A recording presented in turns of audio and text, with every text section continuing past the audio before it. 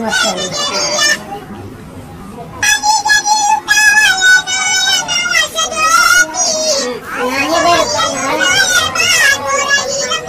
ada roti."